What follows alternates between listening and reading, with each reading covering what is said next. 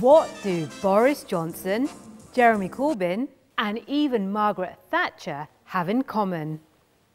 They all had to make a maiden speech here in the House of Commons. That's the name of an MP's first ever speech. Here's Boris Johnson uh, when he first arrived in Parliament as MP for Henley in 2001. I want to pay tribute, as is conventional in these speeches, to my predecessor. In the speech, it's traditional to abide by five conventions. Listen up closely in case you ever decide to become an MP. First of all, be nice to your predecessor. It's customary to pay tribute to your predecessor, regardless of party politics. Flattery is key. Here's Rishi Sunak on Action Man William Hague. Some have wondered about William Hague's future. Perhaps he will heed the advice of the Prime Minister, who suggested he ought to become the new James Bond. Secondly, be brief. Enough said. At number three, talk about your constituency a lot. Adding in some mouth-watering facts can entice your colleagues, as Conservative Alicia Kearns found when talking about her constituency's meaty delicacies.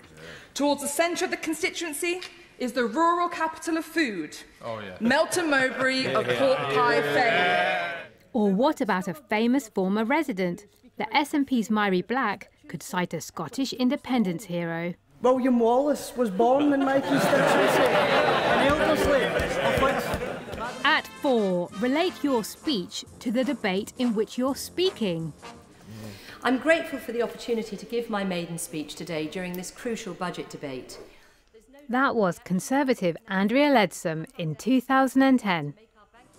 And at number five, try to avoid being party political or say anything controversial. But MPs don't always stick to that.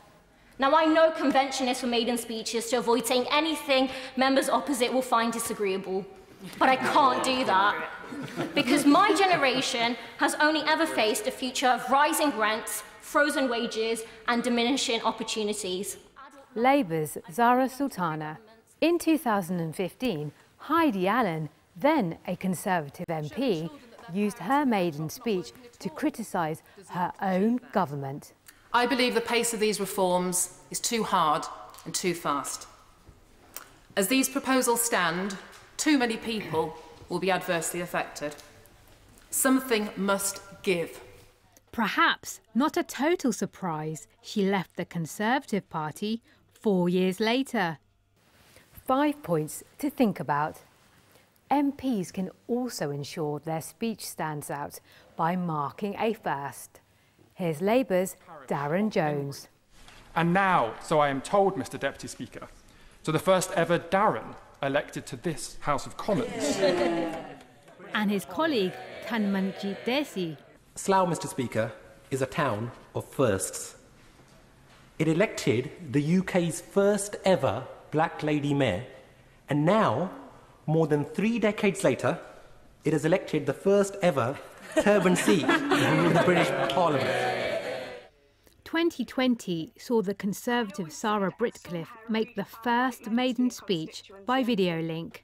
So, along with making history as the first female MP for the area and the youngest Conservative MP in the country, and the first Member of Parliament ever to make the maiden speech remotely from their own home.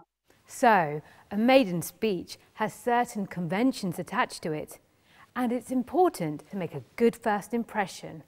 But you never know, like Boris Johnson, you could get to do the whole thing twice. First as MP for Henley in 2001, then again in 2015 as MP for Uxbridge and South Ruislip. I want to stress that this speech tonight, Mr Deputy Speaker, is not a maiden speech as I've been specifically instructed by uh, the Speaker that whatever maiden status I may have once possessed has long since, long since passed away.